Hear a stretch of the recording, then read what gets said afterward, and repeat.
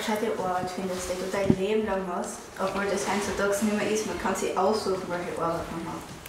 Dann, dass du, bevor du 30 bist, Kinder kriegst, dass du für Haushalt, es ist einfach noch das alte Denken, was einen so richtig nervt. Weil wir sind mittlerweile in einem Zeitraum, wo man alles selber entscheiden kann. Und wenn man keine Kinder haben will, dann ist das so, ganz einfach. Man muss nicht einfach dazu bringen, wenn es nicht so sein sollte. Oder Arbeit her. Ich finde es auch blöd, wenn sie die Eltern einmischen, was die Arbeit angeht. Man sollte selber wissen, was für ein besser ist. Und nicht die Kinder in einen Beruf eindrängen oder wenn es um Freunde geht, sie dort einmischen und das nervt einfach. Oder eben die Kleidung. Ja. Ich ziehe gern eben was Bequemes an oder so und gehe dadurch eher in die Herrenabteilung anziehen. Also Klamotten kaufen und so und gern die Übergrößen.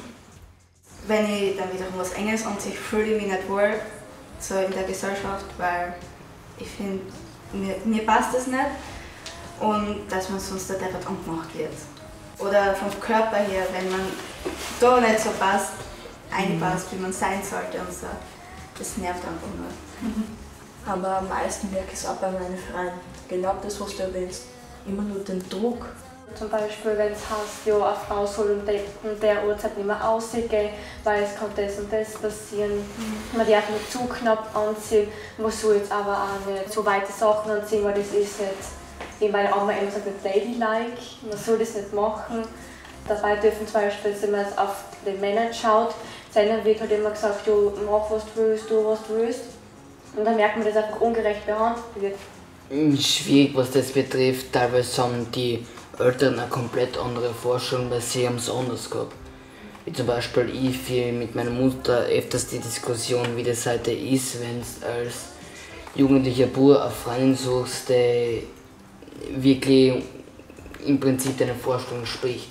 Jetzt nicht vom Aussehen her, sondern eher. Vom Charakter es ist einfach halt relativ schwierig, dass du eine gescheite Freundin oder einen Freund findest, weil als Bruder zum Beispiel, wenn du eine Freundin suchst, bist entweder halt sagt es nicht, ist klar, ist lauchig, ist wenig Geld, sonst noch irgendwas kannst du nichts weg. Mhm. Und für die heutigen Männer ist halt so, entweder als das Mädel das kleine Brüste, das kleine Arsch, mhm. was auch immer.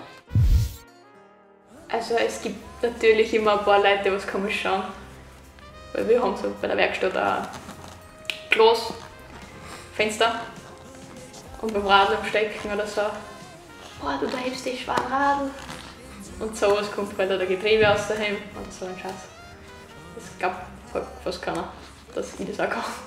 Also wenn es base gemeint ist, nehme ich sie nicht ernst, weil sie machen den Job eh nicht. Dann wissen sie, was das ist.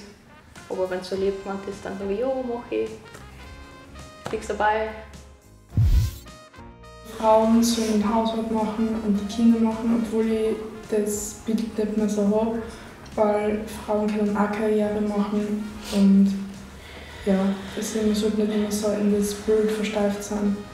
Ja, also ich finde auch, dass manche Leute immer das Bild haben, dass eine Frau kochen sollte und für die Kinder da sein sollte. Und dem, aber ich finde, eine Frau sollte eine Karriere machen und auch, wenn sie will, arbeiten, Vollzeit und so. Also dass das aufteilt wird, dass das nicht nur so ein Frauending ist auf Kinder schauen. Lockerer werden, offener werden. Für manche Menschen ist es sogar noch ein Tabuthema, über Sex offen zu reden. Oder halt die Frau, die hat Behaarung. Das, damit können viele Menschen noch nicht mal offen miteinander reden, obwohl das eigentlich so kein Tabuthema ist oder viele Frauen trauen sich ja nicht einmal mit dem Partner über solche Sachen zu reden. Vielleicht hat die Frau eine Vorliebe, sie traut sich das nicht zu sagen, weil das heißt, ah, das ist eine Frau. Das sind halt immer so die unterdrückenden Sachen, wo die Gesellschaft noch nicht, meiner Meinung nach, reif geworden ist. Das sind noch immer so im Mittelalter Gedanken für mich. Fernsehen, Zeitungen, Radio, Internet, generell Social Media. Oder diese Seite auf Insta, Zeit im Bild, da posten wir auch, posten wir auch sehr viel. Mhm. Ich glaube generell das Wählen wird von uns Jugendlichen eigentlich so richtig unterschätzt, weil wir kriegen von der Republik, sage ich mal, so die Chance, unsere eigene Stimme so mitzuteilen, auch wenn das durch ein Zettel ist. Aber ich glaube, wir unterschätzen das so, weil wir uns denken, eine Person, die fällt nicht auf. Und wenn jeder so denkt, dann geht halt irgendwann wirklich ein Großteil von der Bevölkerung gar nicht mehr wählen. Und nachher aber im Nachhinein kann es sein, dass wir das bereuen, wer das gerade geworden ist. Und das liegt aber noch an uns, weil wir nicht wählen gegangen sind.